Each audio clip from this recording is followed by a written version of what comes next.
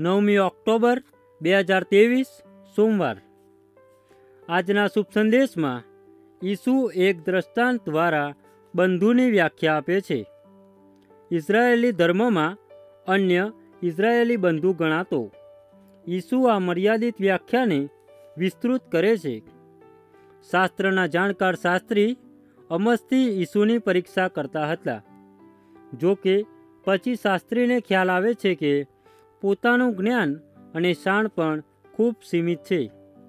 તેમનો સવાલ છે, મારો બંધુ કોણ? ઈસુ દ્રષ્ટાંત કહીને શાસ્ત્રીને સવાલ કરે છે, લૂંટારૂના હાથમાં સપડાયેલાઓનો બંધુ કોણ? એટલે ખરેખર તો શાસ્ત્રીએ પૂછવું જોઈતું હતું કે હું કોનો બંધુ થઈ શકું? ઈસુએ જવાબ આપ્યો, તમે જેની બાંય ઝાલો છો, તેના તમે બંધુ.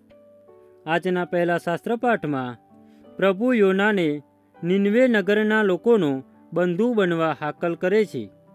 આ લોકો તો ઇઝરાયેલીઓ નથી, એટલે યોનાને એમનો બંધુ બનવામાં દિલચસ્પી નથી.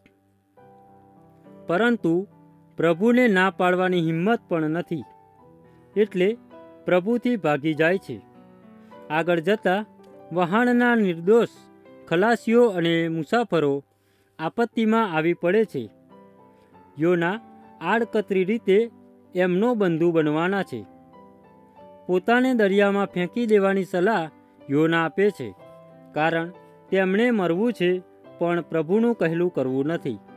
પણ એમના પ્રાણ ત્યાગમાં દરિયો શાંત થઈ જાય છે અને સર્વના પ્રાણ બચી જાય છે.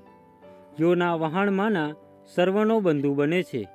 પ્રસ્તુત કરતા Amritdhara Don Bosco animation centre Kapadvanj.